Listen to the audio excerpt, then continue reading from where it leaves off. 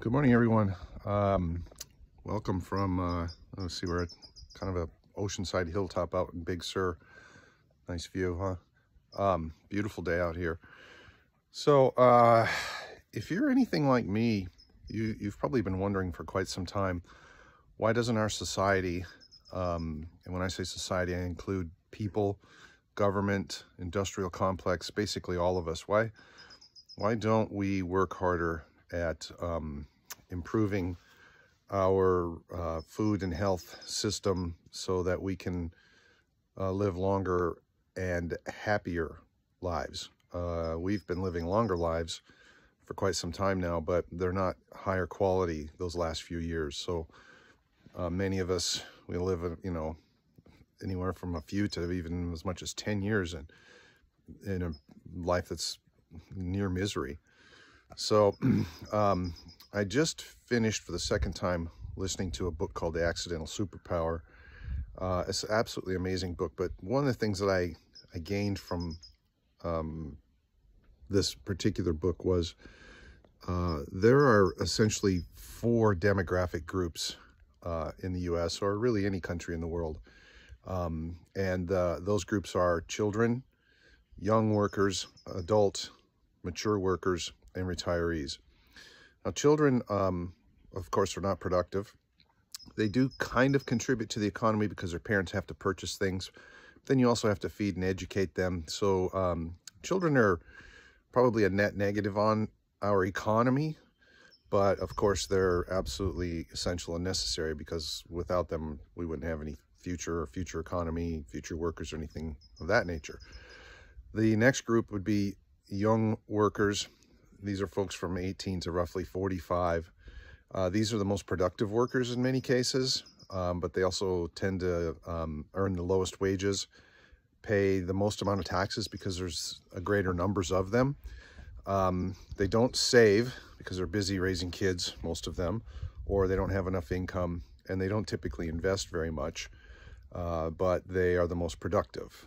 And then there are the uh, mature workers these are folks from, say, 45 to 65-ish. These are the people with the highest incomes. Um, not always the most productive.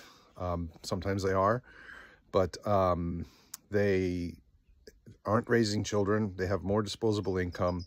Uh, in most cases, they've actually cut back on their consumption. Um, and they tend to save and invest more than anybody.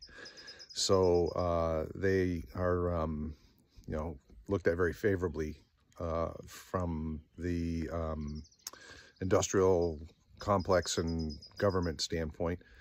And then we have retirees. Obviously, those would be folks 65 and older. Um, you know, these are people who uh, are not productive. They're not working, of course. Um, they've already been through those years. They aren't paying a lot into the tax um, kitty. And uh, many of them are insolvent. If they're not insolvent, they're drawing on their pensions and they contribute, um, most of their money is eventually contributed primarily to pharmaceuticals and the medical industry. So um, these are really people who are net negative on uh, the economy. And um, so they uh, uh contribute the least, literally, because, uh, you know, you can't, can't say the children contribute the least because they contribute to the future this is not my opinion. This is what I read in the book, by the way. Um, so this is not me saying this. This is, is best I can paraphrase from the book. But when I put that together with the fact that we've not really made a huge effort to improve our food delivery system, our medical system, our quality of life systems beyond these upper age um, brackets, it sort of starts to make sense in that um, the system, and when I say the system, I'm not saying that there's a group of people out there who designed it. The system kind of designed itself to some degree, but the system is not favorable for you retiring and living another 20 or 30 years. Uh, the system is best off, ironically, or tends to favor you retiring. Most of what wealth you may have is bled off into, like I said, the pharmaceutical and medical industry, and then you die.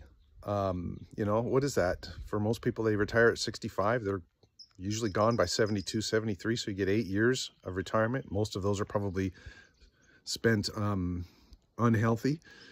So, you know, the system, the way it's set up and the way it functions doesn't really want you to have a, a 30 year retirement, um, especially if you're not solvent, especially if you don't have an enormous amount of uh, savings or investments to live off of. So um, these things I have just realized tend to go hand in hand. And, um, you know, the other option would be for people to work well past the years of 65. So if you work till you're 70, well, then what? You get to live till you're 78. If you live, work until you're, you know, if you live till you're 95, do you have to work until you're 88? Um, you know, that's kind of where things are going, believe it or not. So it's unfortunate, and I think it's time that we consider um, adjustments to it.